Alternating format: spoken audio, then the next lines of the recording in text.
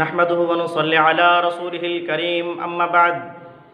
محترم ناظرین اکرام، السلام علیکم ورحمۃ اللہ وبرکاتہ. اللہ تعالیٰ نے بنی نوع انسان کو اس فانی دنیا میں بے شمار انعامات و احسانات سے نوازا ہے، جن کو گننا اور شمار کرنا ممکن نہیں۔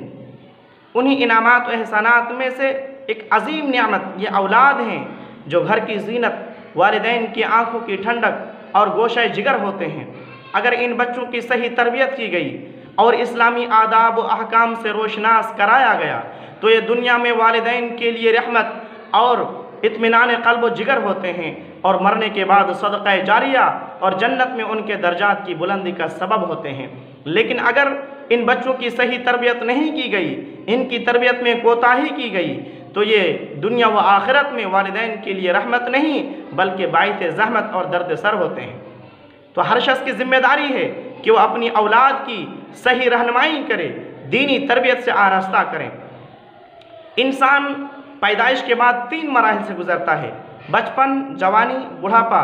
اللہ رب العزت نے صورت الحج آیت نمبر پانچ میں ان تینوں مراحل کا تذکرہ کرتے ہوئے ارشاد فرمایا، وَنُقِرُّ فِي الْأَرْحَامِ مَا نَشَاءُ إِلَىٰ أَجَلٍ مُّسَمًّى۔ ثم نخرجكم طفلا ثم لتبلغوا أشدكم ومنكم من يتوفى ومنكم من يرد إلى أرذل العمر۔ اور ہم جس نطفہ کے متعلق چاہتے ہیں، ایک معینہ مدت تک ماں کی رحم میں رکھتے ہیں۔ پھر ہم تمہیں بچہ بنا کر نکالتے ہیں۔ پھر تاکہ تم اپنی بھرپور جوانی کو پہنچو۔ تم میں سے بعض کو وفات دے دی جاتی ہے اور بعض کو بڑھاپے کی انتہا کو پہنچا دیے جاتے ہیں۔ اللہ رب العزت نے اس آیت کریمہ میں انسان کے تین مراحل کا تذکرہ کیا ہے۔ بچپن، جوانی، بڑھاپا۔ اور ان تینوں مراحل کی اپنی الگ الگ خصوصیات و ضروریات ہیں۔ بچپن کا مرحلہ اس لیے سب سے زیادہ اہم توجہ اور رہنمائی کا مستحق ہے کہ انسان کی دینی، جسمانی، اخلاقی اور عقلی تربیت کا اصل وقت یہی ہے۔ بچوں کا ذہن کورے کاغذ یا تختہ سیاہ کے مانند ہوتا ہے، جس پر پہلی بار کوئی بھی چیز بڑی آسانی سے لکھی جا سکتی ہے۔ لیکن جب ایک بار کوئی چیز لکھ دی جائے، تو دوبارہ لکھنے کے لیے بڑی محنت و جانفشانی کرنی پڑتی ہے۔ یہ آپ کے ہاتھ میں ہے۔ اگر آپ چاہیں تو ان نونہال بچوں کو توحید، ارکان ایمان و اسلام، مراتب دین، حب رسول، حب صحابہ، اخلاق فاضلانہ امانت داری خودداری شجاعت و بہادری کے ترانوں اور دروس و اسباق سے مزین کر دیں۔ اور اگر آپ چاہیں تو اس پر شرک و بدعت، نفاق و بدعملی، عیاری و مکاری کی کالک پوک دیں۔ آپ جس طرح اپنے بچوں کی تربیت کریں گے، آپ کے بچے ویسے ہی بنیں گے۔ صحیح بخاری مسلم کی حدیث ہے۔ اللہ کے نبی صلی اللہ علیہ وسلم نے ارشاد فرمایا، ما من مولود الا یولد علی الفطرہ فَأَبَوَاهُ يُحَوِّدَانِهِ وَيُنَصِّرَانِهِ وَيُمَجِّسَانِهِ ہر بچہ فطرت اسلام پر پیدا ہوتا ہے۔ یعنی ہر بچہ اپنی پیدائش کے وقت صحیح مسلمان ہوتا ہے، چاہے وہ کسی کے بھی گھر میں پیدا ہو، چاہے وہ عیسائی کے گھر میں پیدا ہو، یہودی کے گھر میں پیدا ہو، یا نصرانی کے گھر میں پیدا ہو، یا کافر و مشرق کے گھر میں پیدا ہو، جہاں بھی وہ بچہ پیدا ہوتا ہے، اپنی پیدائش کے وقت صحیح مسلمان ہوتا ہے۔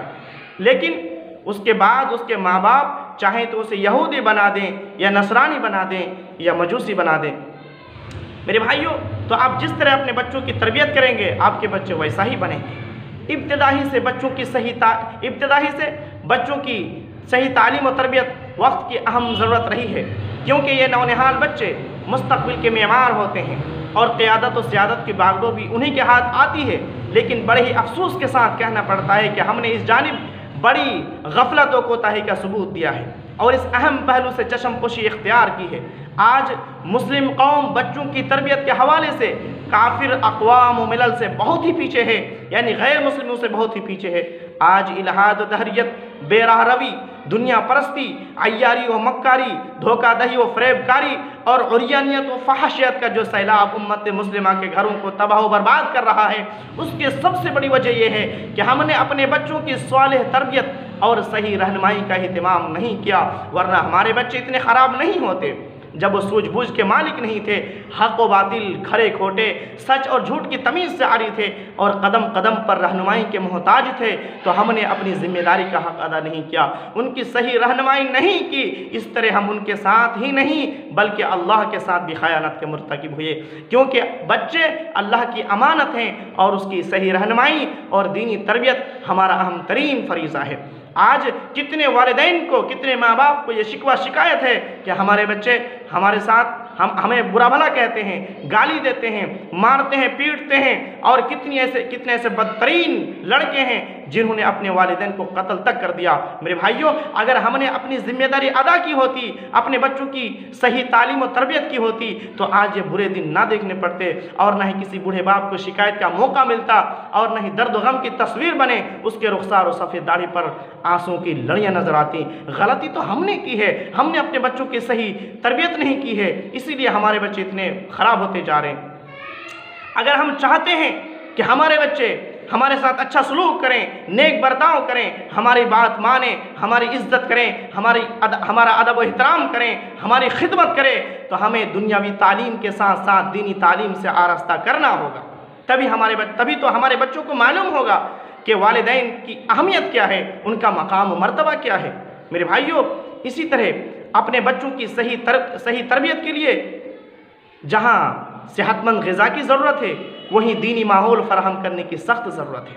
کیونکہ ہمارے بچے اپنے ارد گرد کے ماحول کو دیکھتا اور پڑھتا ہے اور اسے صحیح و غلط کی تمیز کے بغیر اسے من و عن قبول کرتا ہے، اسے اپنانے کی کوشش کرتا ہے۔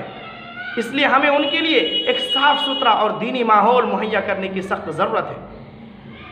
حضرت ابراہیم علیہ السلام نے اپنے اہل خانہ کو مکہ مکرمہ میں اس لیے لا کر بسایا تھا تاکہ وہ نماز قائم کریں۔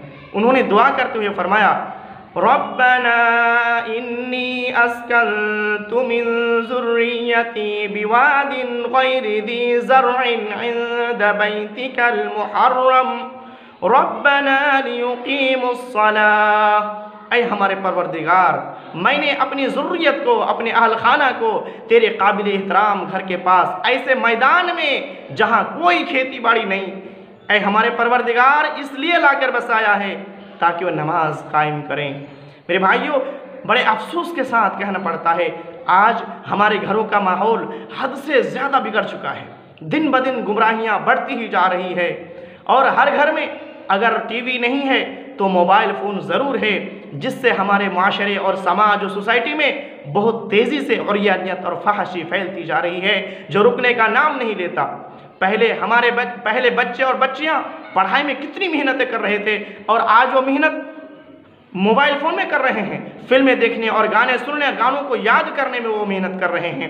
اور Facebook WhatsApp YouTube Twitter وغیرہ پر پورا پورا وقت برباد ہو رہا ہے۔ ہمارے بچے رات میں بارہ بجے، ایک بجے تک نہیں سوتے، وہ موبائل میں مشغول رہتے ہیں، لیکن پھر بھی والدین کو کوئی فکر نہیں، کوئی احساس و شعور نہیں۔ آج ہمارے بچے اسلامی تعلیمات اور آداب و احکام سے بالکل ناواقف ہیں۔ قرآن پڑھنا نہیں آتا۔ وضو کیسے کیا جائے؟ نماز کیسے پڑھی جائے؟ نہیں معلوم۔ پھر بھی والدین اپنے ماں باپ سے پھر بھی اپنے ماں باپ بچوں سے خوش ہیں۔ کیونکہ انہیں انگلش بولنا آ گیا نا۔ وہ good morning good afternoon bye bye papa mom سب بول لیتے ہیں نا۔